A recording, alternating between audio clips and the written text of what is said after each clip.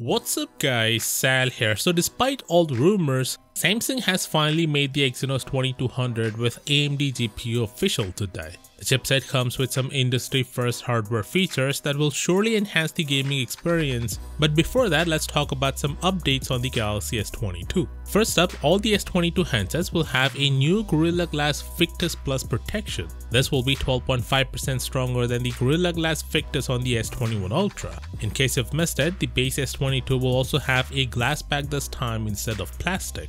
On the S22 Ultra specifically, the aluminum frame, which Samsung will call Armor Aluminum, will be 10% stronger than the one on the S21 Ultra. Next, there was a rumor that Samsung will make a 1TB variant of the S22 Ultra, but it looks like it will be released in select regions only. We don't know what those regions are, but Europe is definitely one of them. Moving on, the S22 Ultra, just like its predecessors, will be able to take beautiful photos of the moon courtesy of the 100x zoom camera. But the moon photos taken with the S22 Ultra will be a little different. Specifically, the tone will match the updated guidelines from NASA, now the tone will look a little more on the cooler side. Just to be clear, these photos are not taken with the S22 Ultra, they're just to give you an idea how the color calibration will look on the handset. Now coming back to the Exynos 2200, three years after announcing the partnership, Samsung has finally included the AMD GPU into their chipsets. But they're not calling it the AMD GPU, instead it will be called Xclipse 920 GPU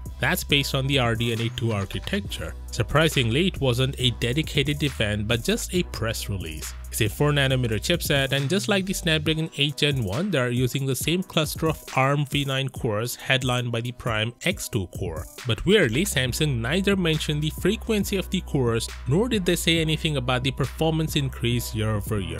But thankfully we have some leaked benchmarks which give us an idea of how it compares to the Snapdragon 8 Gen 1. I'll talk about that in a moment but first let's take a look at the features of the AMD GPU. The first one is the hardware accelerated ray tracing making it the first mobile chipset to support this technology. Ray tracing is a method of graphics rendering that simulates the physical behavior of light. It was only seen on gaming consoles so far, so the fact that the Exynos 2200 has hardware ready to take advantage of this technology is a very big thing. The second is variable rate shading, something the Snapdragon 8 Gen 1 also supports. It basically allows game developers to render important visuals within the game at a higher quality and in turn render less important graphics like the background in groups of multiple pixels. This will result in better frame rates and better efficiency meaning good battery life. The artificial intelligence is seeing a big upgrade with this chipset. Samsung claims a massive 200% increase in AI performance compared to the Exynos 2100.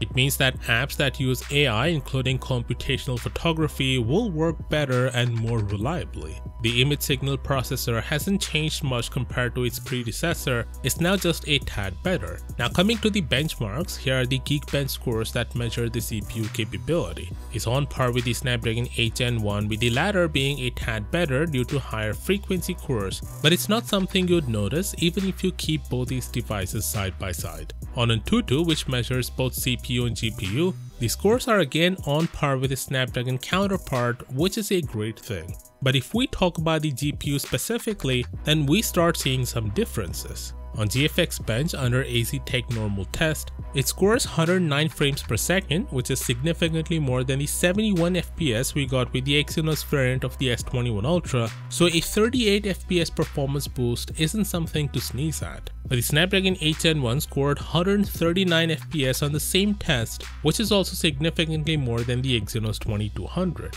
But I think we should wait for the final unit because these are engineering samples and the scores could vary. But even if we end up seeing the same scores, it's gonna be hard for you to notice these changes in real life because both these GPUs are now so much powerful. The only question now remains is how efficient they are and how much heat they generate. I guess we'll know soon enough on 8th of February. Of course, do consider subscribing for all the latest updates on the S22 and as always, I'll see you tomorrow. Peace out.